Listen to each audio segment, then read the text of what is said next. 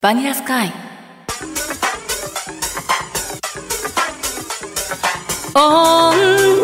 の子はいつでもヒロインになれるな。ハッピーです。FM ギノワンをお聞きの皆さんこんばんは。鹿児島県より世界中に音時間発信しています。シンガーソングライターマーマーのようこです。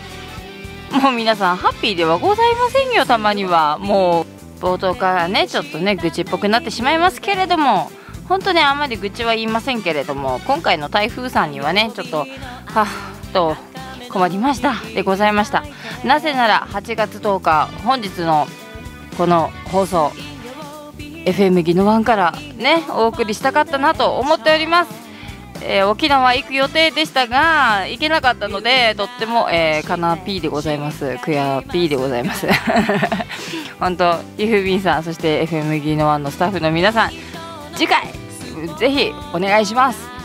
というねあの約束をもうね皆さんとしたところで今日もハッピーにお届けしたいと思います。ちょっと声が投げやりだけど気にしないでください。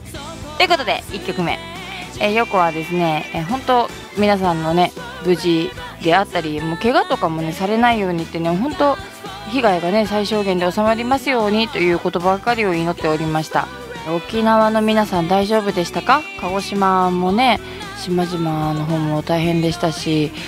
今度はさこうまた新しいのが出てきてってねまあ夏なのでね台風はねしょうがないとはいえどもえでやっぱりさこうちねテレビをつけない家なんですけれども今テレビであったりテレビ局のアプリでねやっぱりこうリアルタイムにずっとこう台風情報だけではないですけれども何か災害があったりとかねいろいろ、ま、対応してくださるじゃないですか。もう本当ねそのお仕事をしてる方々にもねもう大丈夫かしらって。だってねもうインタビューをさこう受ける人ではなくてえっ、となんだっけアナウンサーさんたちもさこうその現場に行ってあのこういう状況ですってお届けしてくれくれてるでしょ？もうそれを見るだけでも大丈夫かしらと思ってね。もうとにかくちょっと心配性がねもうめちゃくちゃ発動しましたよ、えー今夜1曲目は皆さんの平和や安全そして健康を願って幸せを願って愛実お聴きください。夢を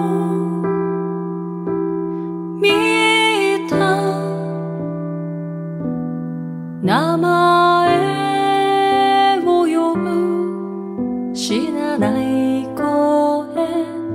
穏やかな瞳で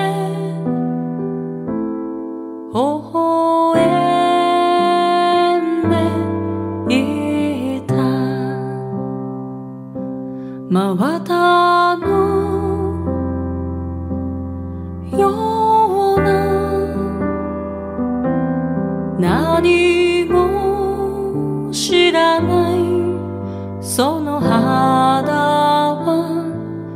誰も愛して息をするだろう。一粒の涙が頬を伝う。前出会うことができるなら数えきれない夢もなくすことのない愛しさも瞬き一つほんの一瞬で光り続ける。光り続けてく。この胸の中にずっと。この胸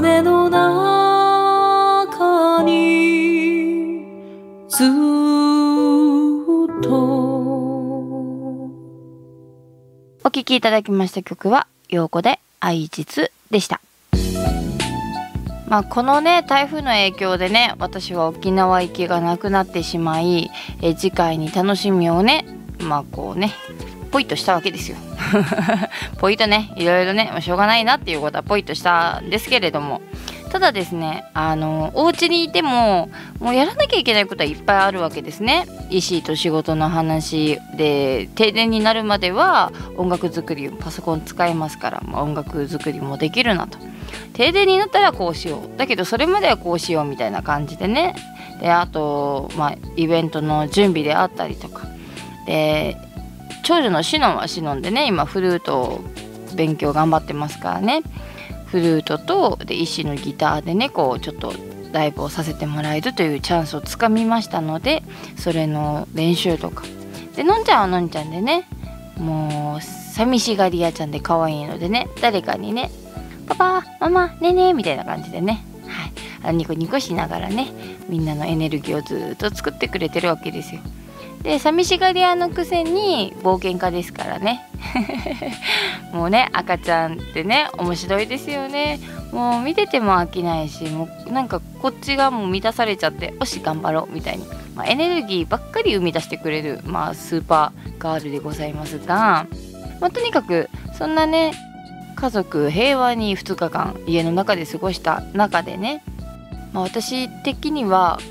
まあ、お家が大好きなのでもともとでこれもしたいあれもしたいってこう出てくるわけですよね。で今ちょっと一番取り組みたい本当に取り組みたいのは自分の新曲なんですよね。でどういった曲を作りたいかどういった歌詞を書きたいか。で誰に向けてどういう風に楽しんでほしいか。っていうのに私が入るみたいな。でも自分の曲二十何曲 CD にしているとこの CD はこういう感じで聴いてほしい曲はこういう意味合いで作ったんだっていうのが以前のものが正しいのかなってちょっと疑問に思ったりするんですよね。でこれはいつもそうなんですけれども自分として陽子として歌っているのかな？陽子として歌っているのにふさわしいのかなとかねいろいろ考えてしまうんですけれども。ただありがたいことに応援してくださる方々がこの曲は好きだからこの曲ラライブで歌ってねとかラジオで流してねとか嬉しいなと思ってるんですけれども、まあ、今のところね陽子が歌詞書こうとすると世界平和とお母さんの目線ばっかりになっちゃうけれどもなんかこう例えるなら漫画のアニメの主題歌とかねドラマの主題歌とか映画の主題歌とかに使ってもらえるような曲を勝手に作って歌ってみた方がこう面白いのかなって思ってみたり、うん、まあなんとかだったらみたいな要項でね歌詞を書くのがいいのかなとかね、まあ、そんな風にいろいろ考えてはいるんですね。で、まあ、この2日間でね得たものというのは、えー、いろいろやっぱりこう考えていく中で自分が自分でいるために何かを残すっていうことは誰しもある意味したいと思うんですよね。私の場合は自分の曲を残したいっていうことはまあこんな仕事をしていてないですねその感覚は。だけど例えばイッシーと作った曲を多くの方に聴いていただくためにいろんな曲を残したいというものはある。結局こう私の場合は陽子っていうアーティスト越しにはいろいろ残したいものとかしたいことはあるけれども一個人の陽子という人間的には別にね何かを残したいとかはないんですよ。うん、だけど言ってることがこう矛盾してきたな。まあ簡潔に言うとアーティストの陽子はいろいろしなければならない何々でなければならない何々をこうすべきだみたいなことがとてもあるけれども一個人のねあのお母さん業として、まあね、大事な家族を守りながら働くお母さんとしての陽子という人的には別にねもう自分の命をね使ってねこういろんな方々がハッピーに過ごしてくれたりねまあ大事な人たちがねあそういえば母ちゃんこんなこと言ってたなとか思い返すくらいの残すくらいでいいかなみたいな。まあ、そんなちょっとある意味雑にね陽子という人をね扱いがちな人なんですよ。まあ、自己肯定感でいうととても低い人間でしたからね。だからこそ子供たちに自己肯定感こそ自分を守ってくれるからと思ってねこう高いように高いようにあなたのことを愛してるのよあなたのことが大好きなのよあなたのことが本当に特別で愛おしいのよってたとえ叱らないといけない時でもがっつり叱りますがあなたのことが憎くて嫌いで叱ってるわけじゃない。あなたがこうしたことによって誰かが困るから何々が困ったからママが大変だったからちょっとおかしいと思って今言ってるの。みたいなね。そんなことはね、まあ、きちんと伝えてきたつもりでございます。でまあちょっと話が回りくどくなってますけれども。まあこう2日間ねいろいろ考えるわけですよ。ご飯を作りながら何かしながらで家族とミーティングしながらね仕事のミーティングしながら。でまあそうした時に自分が今残したい曲ってじゃあ何なのかな？歌詞って何なのかな？ってすごくね自分がねまあ、他力本願いい意味で他力本願なねことばっかり考えてしまっているなということを、えー、とても気づきました。結局私が、えー、売れたい理由っていうのは私がいろんな方の役に立つようなね歌い手になった時、えー、シンガーソングライターママになった時に今まで応援してくださった方やこれから出会う方々の何か力になれるとかあと何て言うの、まあ、喜んでもらえるコンテンツになるっていうのが本当一番嬉しいことなんですけれどもね、まあ、とにかく、まあ、そういうふうにいろいろ物事が回ってるなーって考えた先にですねやっぱりちょっとあ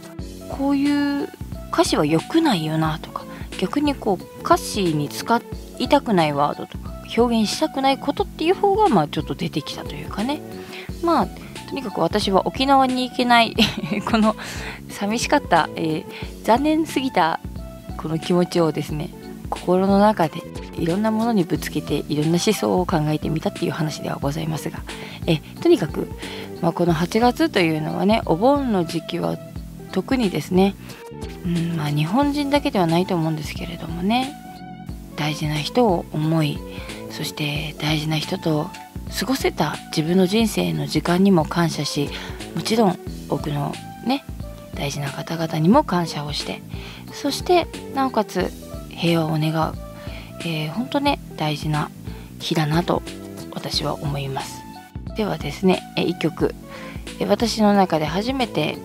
平和を願って書いた歌詞で仮タイトルは「お盆」でした。この曲をね今も歌うとこの時期は絶対歌ってますずっとね。そうすると多くの方に足を止めていただきなんかすごく良かったって。なんかすごく良かったっていうそのなんかっていうのは人それぞれ違うと思うんですけどでもそのなんかっていう言葉が私はもうほんと嬉しい褒め言葉です。では今夜も歌いたいと思います。そして皆さんに届けたいと思います。お聴きください。さい。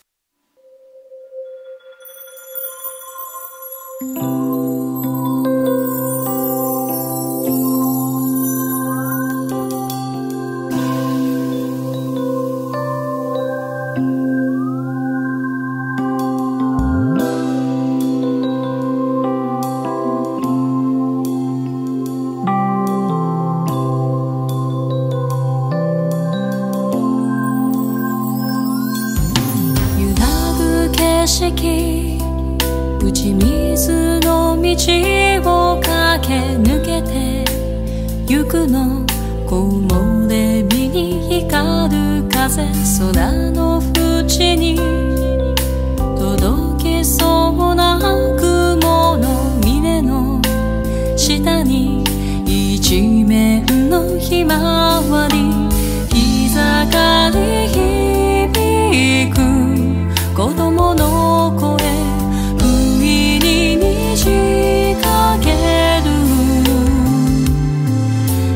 しぶ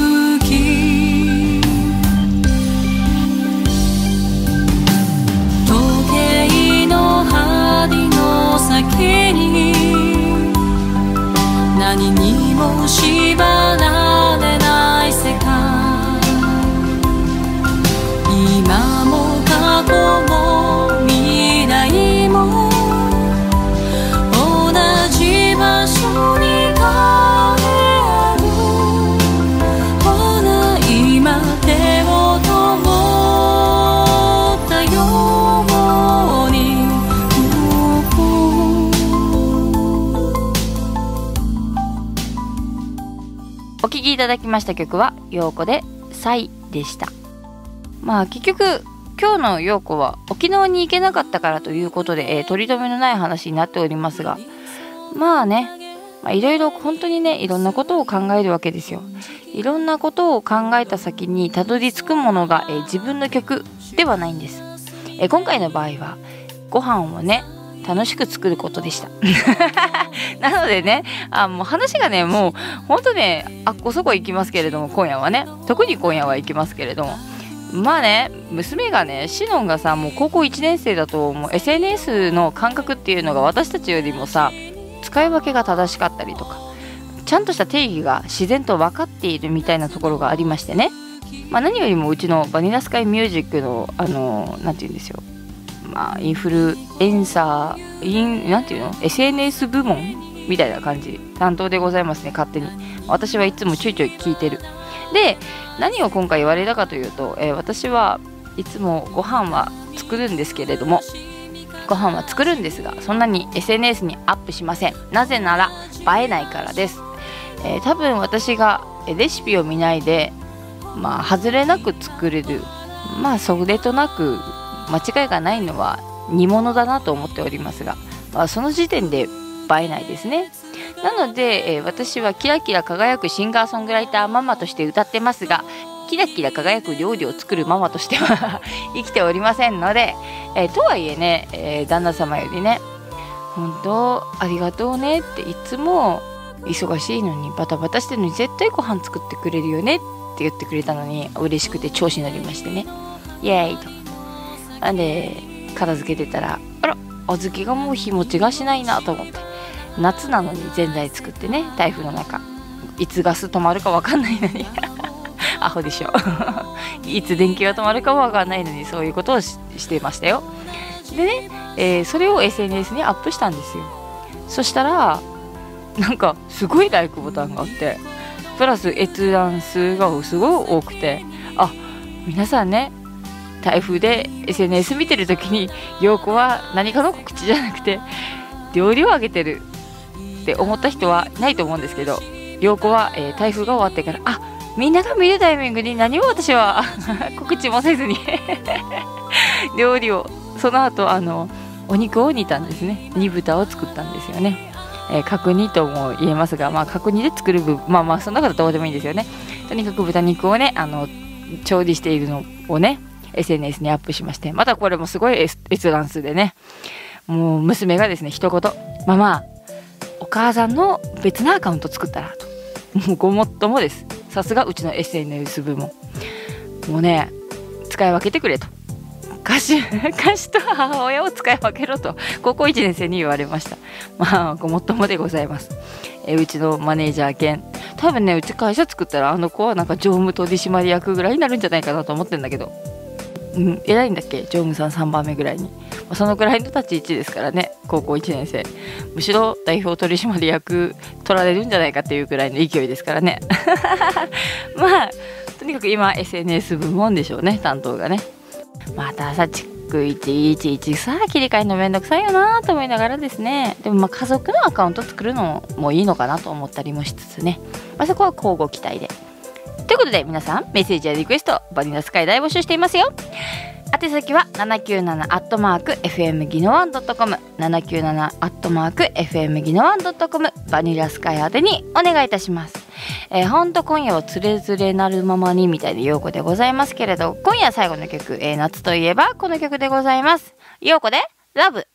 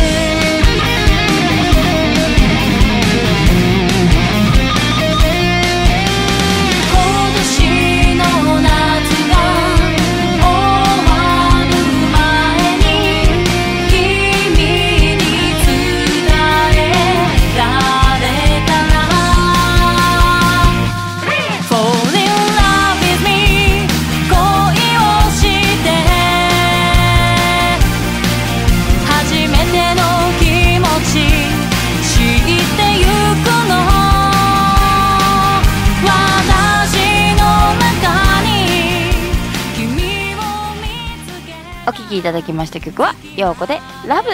でした。まあね今夜はねまだ新曲はお届けしておりませんけれども近々ね新曲もお届けできるようにこの台風で私がいろいろ考えていた、えー、家族みんなからねいただくラブをですねそして応援してくださるリスナーの皆さんからのラブをですねよくももともとラブソングでラブラブソングでね、えー、恩返ししたいなと音返しという感じでね恩返ししたいなと思っております。そして9月に行けるかな？10月はちょっとね行けそうにないから9月に行けたらいいんですけども予定がパツパツなんですよね。かといって寒い時に行くのも嫌やしな。11月だったらいけるかな？